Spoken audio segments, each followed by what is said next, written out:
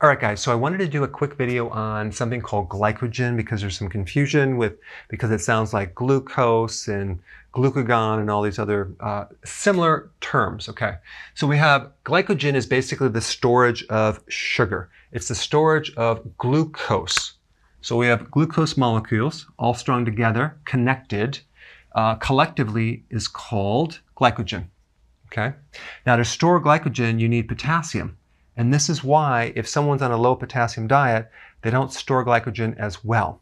So what happens when you actually consume carbs, your body increases insulin and then it starts storing glycogen as a first uh, thing that it does.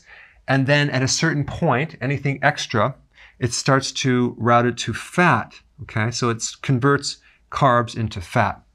Because we really only have a, a small amount of storage of glycogen, about 1700 calories, roughly about a day's supply. And then we run out, and then our body is supposed to tap into fat. So then the question is, what is normal blood sugars and what is too much? And when do you start to uh, go from storing glycogen to storing fat? Well, normal blood sugars is about 80. So that basically means out of all of your blood, about a gallon and a third, it's only really one teaspoon of sugar. Okay, it's very, very small amounts. And you can get that sugar from uh, the conversion of fat into sugar or protein into sugar.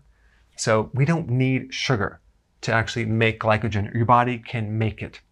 Also, just FYI, stress, um, like cortisol, the hormone cortisol, activated by stress, will also increase the storage of glucose. So in the liver, it'll just start making more sugar uh, out of protein and make more glucose if you need some, okay? And especially during a stress state. Now, out of this total amount of glycogen, uh, the muscle pretty much holds about 75% of the glycogen, and the brain does not have a glycogen reserve. It doesn't store sugar.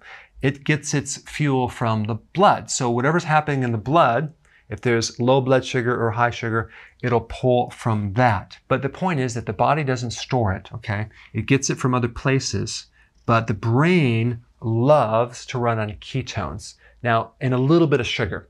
But again, that sugar could be made from other things. It doesn't have to come from sugar, but it loves ketones. Same thing with the heart. The heart loves ketones as a fuel better than glucose, and it also loves fatty acids. So it can run on a few things, and it doesn't have to run on glucose. There's just a couple parts of the body that do need some glucose, but again, your body can make it through something called gluconeogenesis, the formation of new sugar. And when we run our body on glucose exclusively because you're on a high carbohydrate diet, we get into trouble because number one, we get the conversion into fat, and then we create insulin resistance, and that creates more insulin, so we have a lot of problems. But this video is mainly just to educate you on exactly what glycogen is and how it can be created in the body. All right, thanks for watching. So we've been getting a lot of success stories, but I don't have your success story yet. So click the link down below and upload your before and after. I want to actually hear about your success story. I want to see your before and afters. And every week we do featured success stories. So click the link down below and share your success.